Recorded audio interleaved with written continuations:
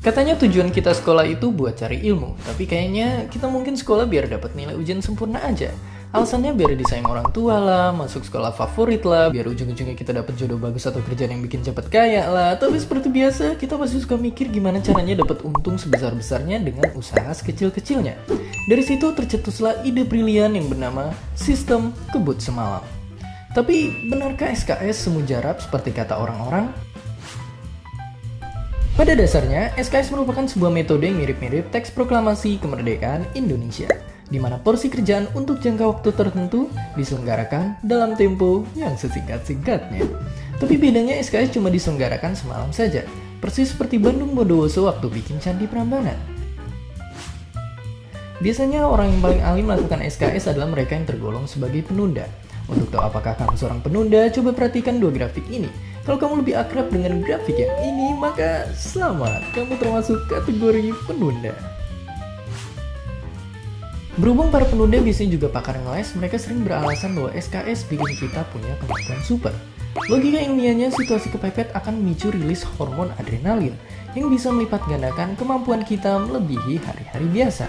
Di satu sisi, cara mikir ini nggak salah sih, karena banjir adrenalin memang bisa bikin otak terasa segar buat mikir cepat. Tapi di sisi lain, efek ini nggak bakal berlangsung lama dan biasanya menyisakan stres dan capek yang luar biasa. Memang tiada yang abadi di dunia ini. Selain itu, SKS punya efek samping yang tak terelakkan, yaitu begadang. Buat yang paginya mau ujian, begadang seakan nambah waktu belajar. Nyatanya, begadang itu cuma mengandalkan memori jangka pendek yang sifatnya itu sementara.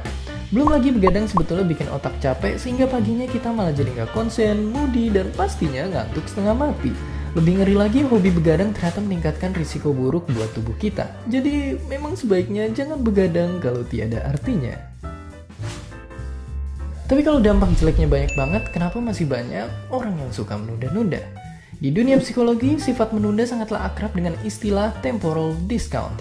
Artinya, makin jauh jaraknya dari deadline, suatu tugas bakal kita anggap makin kurang penting. Akibatnya, skripsian misalnya terasa belum penting kalau belum mepet-mepet banget deadline. Sifat menunda juga ada hubungannya dengan impulsivitas dalam DNA kita, karena dulu di alam liar kehidupan kita itu masih serba sederhana.